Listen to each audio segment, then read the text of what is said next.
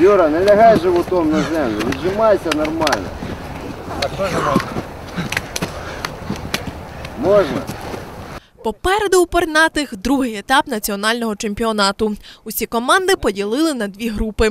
Переможці поборються за нагороди найвищого гатунку. Ті, хто займуть другі місця, матимуть шанси на бронзу. Підопічним Юрія Грабовського дістались доволі непрості суперники, зокрема віце-чемпіони України Одесити. Кредо серйозний противник Антарес. Ми з ними грали минулого року, вдома виграли, на виїзді програли. Ну, на виїзд там дуже багато не змогло поїхати наших основних ігроків. Але думаю, що ну, будемо настроїтися тільки на перемогу. У Шацьк Сокіл бере зі собою кількох хлопців, що можуть стати дебютантами команди вже у наступному сезоні. Довго тренуюся, стараюся бути такими, як старші наші соколята.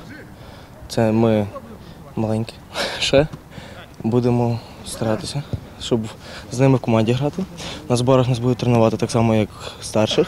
Окрім дорослого чемпіонату, птахи візьмуть участь у молодіжній лізі. У ній змагаються гравці віком до 21 року. Ми представляємо команду західного регіону. Тобто ми беремо до себе пару хлопців е, з Рівне, з Хмельницького, там, е, з Ужгорода і разом виступаємо проти команд центрального і південного регіону.